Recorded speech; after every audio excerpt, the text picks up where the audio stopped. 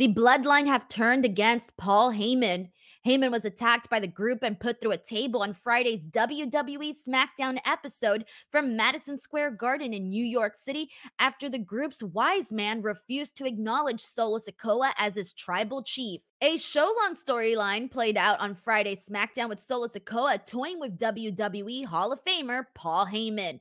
The bloodline closed the show with Sikoa revealing that he had lied to Heyman and Fatu was in fact at the arena for the ceremony. Solo Sikoa went through the group from Tama Tonga to Tonga Loa to Fatu and all acknowledged Solo Sikoa as tribal chief. Solo Sikoa then turned to Heyman and Heyman refused to acknowledge him as his tribal chief. After he refused, he was attacked by the entire bloodline, ending with Paul Heyman getting powerbombed through the commentary table. After SmackDown went off the air, Paul was stretchered out of the arena. Friday's angle with Paul Heyman paves the way for the eventual return of Roman Reigns as a babyface to feud with the current bloodline, constituted of Solo Sikoa, Tonga Loa, Tama Tonga, and Jacob Fatu. Reigns has been on hiatus since WrestleMania 40 when he dropped the undisputed WWE Championship to Cody Rhodes. Solo seized control of the bloodline in the absence of Reigns and went so far as to tell Paul on last week's SmackDown that Roman would not be returning to the group in storyline.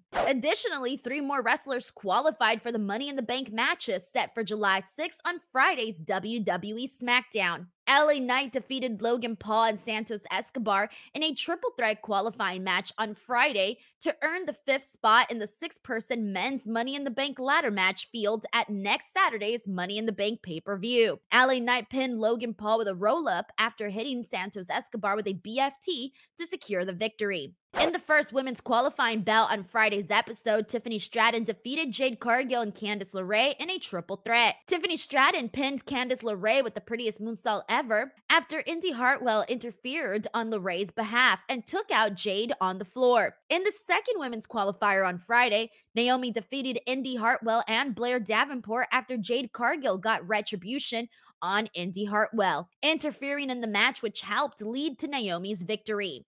Five of the six spots are secured in both the men's and women's Money in the Bank ladder matches with the final spots to be decided on Monday's Raw. Drew McIntyre versus Sheamus versus Ilya Dragunov will decide the final men's participant in a qualifier on Monday's Raw, while Zoey Stark versus Ivy Nile versus Dakota Kai will determine the final women's qualifier. Current lineup for WWE Money in the Bank on Saturday, July 6th in Toronto at Scotiabank Arena includes the World Heavyweight Championship match Damian Priest defending against Seth Rollins, with the added stipulation that if Priest retains, Seth Rollins can't challenge for the title ever again as long as Priest holds it. If Rollins wins, Priest leaves the Judgment Day. Additionally, we'll be seeing the Intercontinental Championship on the line as Sami Zayn defends against Bron Breakker. Also, Cody Rhodes and Randy Orton and Kevin Owens versus the Bloodline, as well as both the men's and women's Money in the Bank matches. And in case you missed it, WWE has announced a groundbreaking deal to bring three major shows to Indianapolis.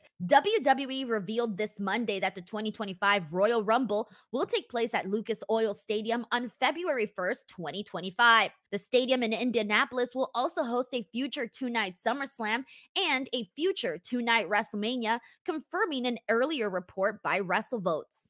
In terms of when Indianapolis will host a future WrestleMania and SummerSlam, WrestleMania 41 in 2025 is already set for Las Vegas. SummerSlam 2026 has been announced for Minneapolis. However, the location for SummerSlam 2025 has not been confirmed as of yet. Kayla Braxton posted a message to social media thanking WWE and its fans on her last night with the company this Friday. In a message posted to X, Braxton wrote, I love my WWE family.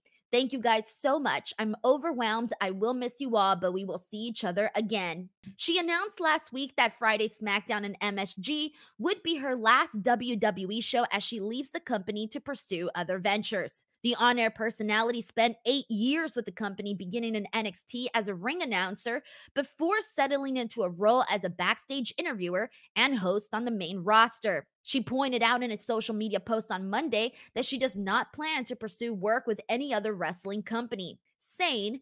The support from you guys has been overwhelming. I'm so thankful for you. But I did want to make one thing clear. As I enter my final week in WWE, if I wanted to keep working in wrestling, I wouldn't be walking away from the largest wrestling company in the world. Nice try, Rumor Weeds. Undisputed WWE Champion Cody Rhodes also called Kayla out for a curtain call at Madison Square Garden. Also, in case you missed it, WWE's Rhea Ripley and AEW's Buddy Matthews have announced their marriage. Rhea posted a photo of the couple on her Instagram page late Wednesday with the caption, Till Death, and the date June 23rd, 2024, indicating that the two were wed this past Sunday. The couple went public with their relationship in 2022. They announced their engagement last August. They are both Australian natives. Ripley is currently out of action with an unspecified injury that forced her to vacate the WWE Women's Championship on the April 15th edition of Raw with her right arm in a sling. Buddy Matthews is a former AEW World Trios champion who last wrestled on the June 15th AEW Collision episode. That's a wrap for this episode of the latest. As always, thank you guys so much for watching, and we'll catch you on the next one. Plus, don't forget to subscribe to the channel for plenty more pro wrestling coverage.